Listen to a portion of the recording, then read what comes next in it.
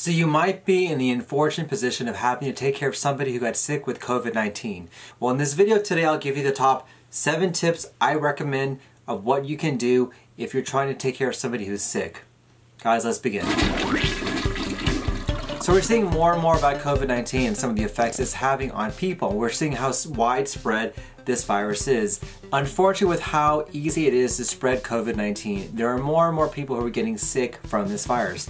And you may be in a situation where you are taking care of somebody who actually has the sickness from SARS-CoV-2. Here are the seven things that I recommend as a doctor to help out when you're treating somebody who has COVID-19.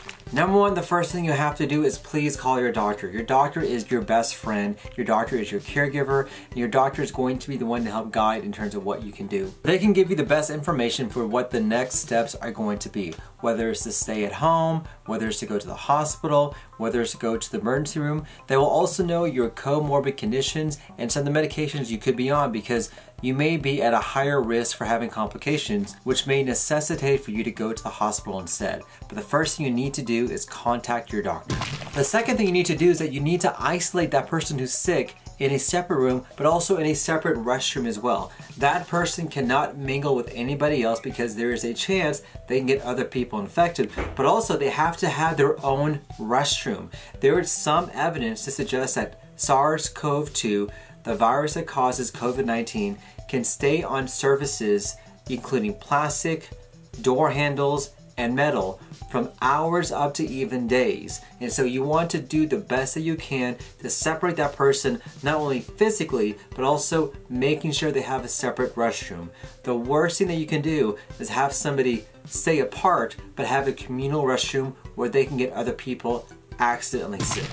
Number three, you have to disinfect the surfaces that you touch as often as you can. I know it's going to be a pain, but this is going to be the best way to make sure the virus is not attached on those surfaces. Like I mentioned before, there is good evidence to suggest that the virus can stay on surfaces for quite some time. And the more that you disinfect and clean and wash things off, the more likely it's going to be for that virus to not be attached there and therefore not get other people sick. Disinfect, disinfect, disinfect, and disinfect some more. Number four, this is kind of obvious, but avoid sharing things with them. And this includes everything, utensils, comb, shampoo, clothes, hairpins, things that you normally would share with other family members, you have to make sure you keep that separate. Don't share anything. Have that person who's sick have their own items that they keep to themselves and the rest of the house have everything that's separated. You don't want to intermingle or commingle anything at all. Number five, I would recommend for you to wear gloves whenever you're handling their laundry. There are some reports of the virus being spread via airborne.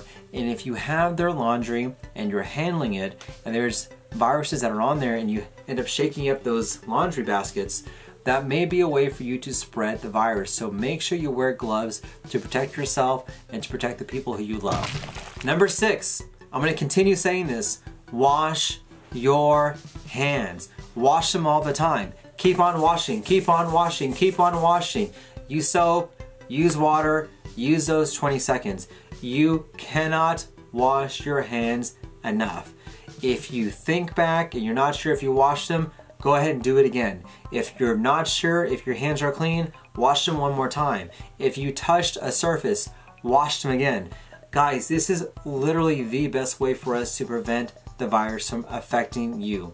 What happens when you wash your hand is that your soap buds actually destroy the virus and gets rid of it away from your body.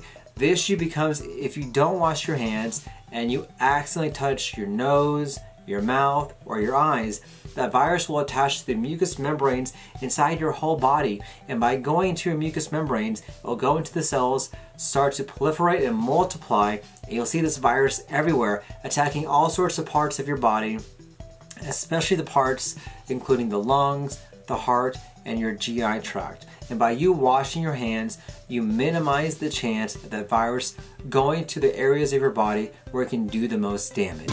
And number seven, if you have a face mask, ask them to wear it.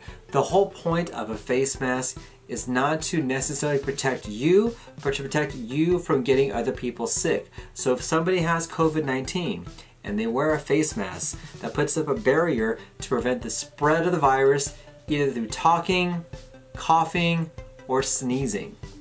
Hachu, hachu, hachu. Talk, talk, talk. And by having that barrier up there, this decreases the chance of causing the spread of the virus and getting you or somebody who you love sick. But guys, these are the seven things that I recommend as a doctor to protect yourself if you have somebody who may be sick with COVID-19. My question of the day for you guys, what questions or recommendations do you have if someone gets sick? Comment down below, I'd love to hear what you guys have to say. I want to thank you for watching this video. If you want to know if your pets can give you COVID-19, click over here. Or if you want more information on how long COVID-19 or the SARS-CoV-2 virus can stay on surfaces, click over here. But guys, stay happy and stay healthy. But unfortunately, there are a lot of people who are getting sick who may not realize. Oh, wait, that's totally messed, messed that up. Let me try it again. Unfortunately, with how common people are, they can give you the best information for the, what the they can give you the best they can give you the best information for what the next sex. God, that person cannot mingle with anybody else. With God. So when somebody who's sick, they're gonna have the normal human fun. Sorry.